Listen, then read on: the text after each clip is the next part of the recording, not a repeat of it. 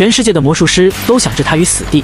他就是被称为魔术界叛徒的蒙面魔术师，因为他在二十五年前做了第一个关于揭秘魔术的电视节目，节目一经播出，立刻轰动全美国，收视率以百分之二十二稳居第一。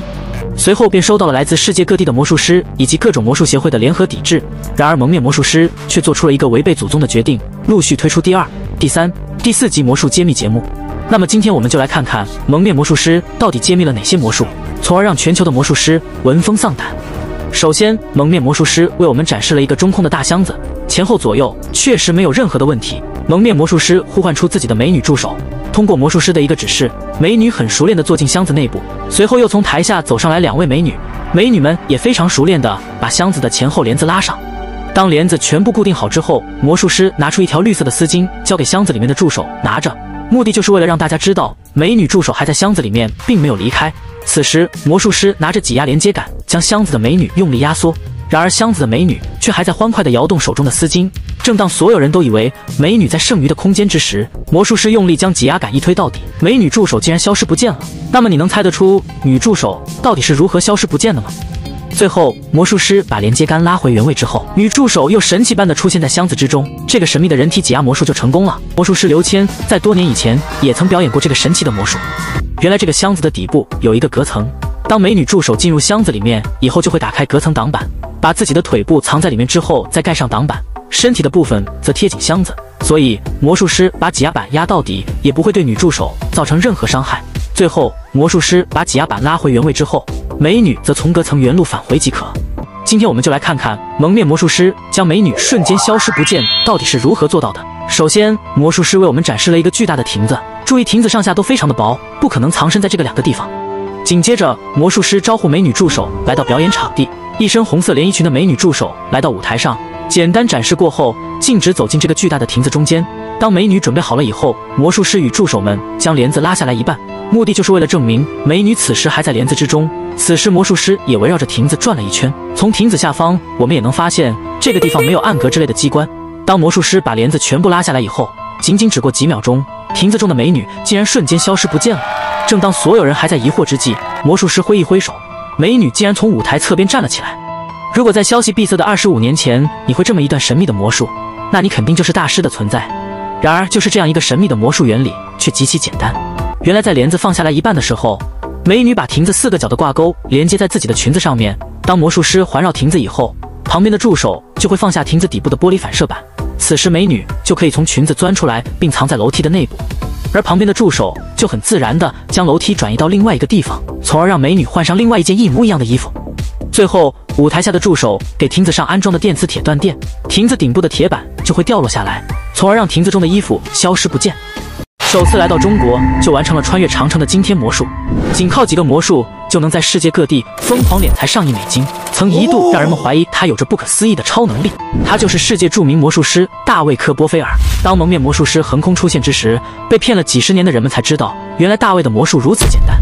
今天我们就来看看大卫被蒙面魔术师揭秘过的三大神秘魔术。镜头来到一九八六年的八达岭长城，城墙上下站满了全国各地好奇的人们。而今天，大卫·科波菲尔将上演一个人体穿越长城的逆天魔术。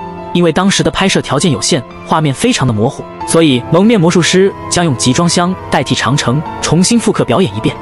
首先，魔术师的两位助手把集装箱旁高台上的幕布放了下来，同时在幕布的后面还开启了一盏聚光灯。当一切准备就绪之后，魔术师缓慢地从幕布侧边走进高台中间，此时聚光灯也将魔术师的影子投射到了幕布之上，目的就是为了证明魔术师一直会在高台里面。紧接着，魔术师走到集装箱旁边，把手一点点伸进去，此时我们也可以清晰地看到魔术师身体全部进入集装箱里面了。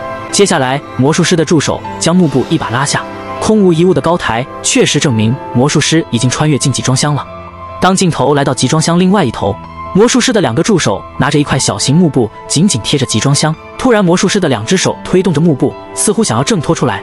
然而，助手把幕布拿来以后，却看不到魔术师的身影。接下来，助手们把高台上的幕布固定好，同样一盏灯光照射在幕布之上。突然，魔术师从集装箱里面一点点的钻了出来。当幕布被助手拉下的瞬间，这逆天的穿越魔术就完成了。接下来进入揭秘时间。原来，魔术师的高台底下有一个暗格。魔术师的助手事先就藏在了里面，幕布全部放下以后，助手就会从暗格钻出来。当魔术师进入幕布之时，助手就会走到高台中间代替魔术师，而魔术师则从高台下方的通道进入楼梯内部。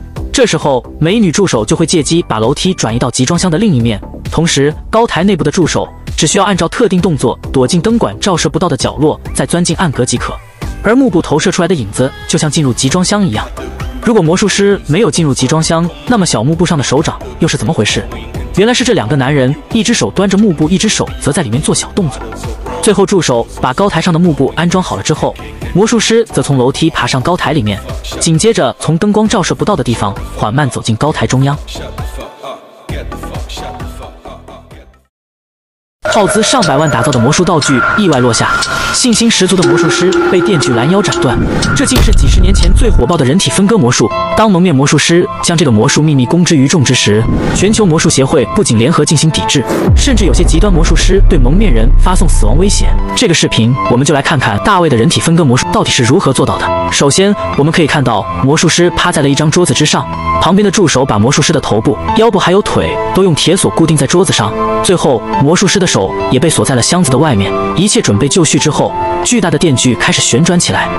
而魔术师要做的，就是在电锯到达自己之前解开所有锁具，并逃脱出来。不愧是世界著名的魔术大师，仅仅只过了几秒钟就解开了手中的镣铐。当魔术师把箱子打开之后，仅用了三秒，头部的铁锁也解开了。按照这个速度，魔术师想要逃脱出来可以说轻而易举。就在魔术师专心破解腰部锁具的时候，电锯似乎发生了故障，一阵火光四射之后，突然。电锯径直落下，直接将魔术师拦腰斩断。正当所有人都在担心魔术师生死存亡之时，魔术师竟然缓慢地抬起头来。紧接着，魔术师的助手将桌子拉开的瞬间，奇迹发生了，魔术师竟然被电锯一分为二。那么，这个逆天的魔术到底是如何做到的？原来魔术师并不是一个人完成这个表演的。魔术师进入箱子的时候，其实就是把腿部藏在桌角的空间，另外一端则是另外一个人将身体藏进桌角空间。这样看起来好像是趴着一个人，其实中间的位置是空的。所以高速旋转的电锯不管怎么切割，魔术师都不会受到任何伤害。这个视频我们就来看看魔术师穿越高速风扇是如何做到的。镜头来到一台高速旋转的风扇前方，魔术师介绍，接下来他将要从风扇后面穿越出来。一旦失败，将被电扇切成肉片。当美女助手们把风扇前方的幕布打开的时候，一台威武的风扇真的在急速旋转。紧接着，魔术师快速走到了风扇后面，美女助手们也在同一时间将风扇幕布关了起来，目的就是为了不让大家看到血腥的瞬间。